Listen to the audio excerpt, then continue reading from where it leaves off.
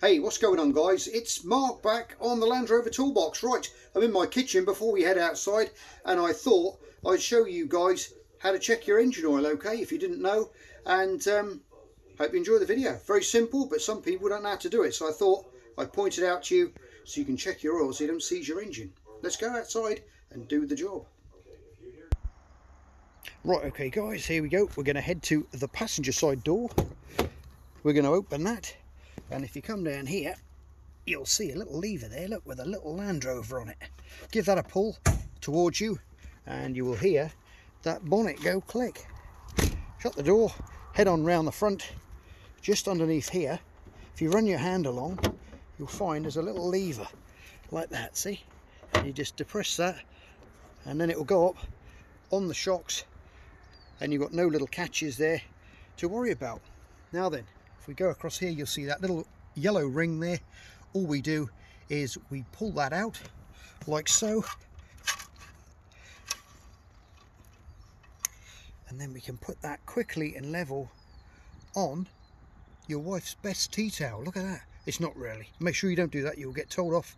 And you'll see there we have got a full oil level. Look at that. Right up to the top bead there that's where you want it okay? You anything below that you want to top it up anything we don't want to be going above that okay? So when that's done obviously wipe it off try it again.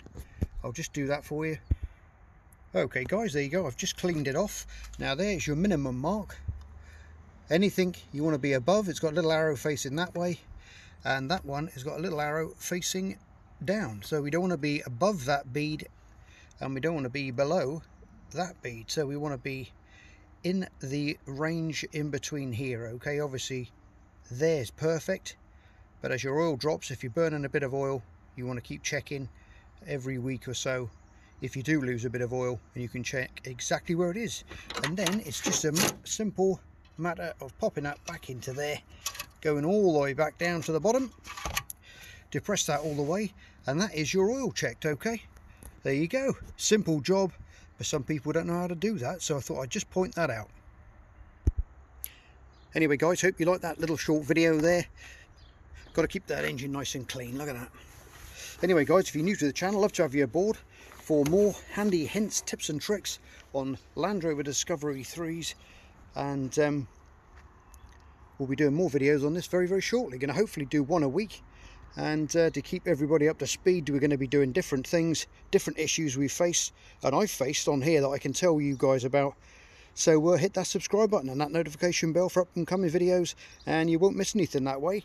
Anyway guys look after yourselves take care and I'll see you on the Land Rover Toolbox next time. Bye for now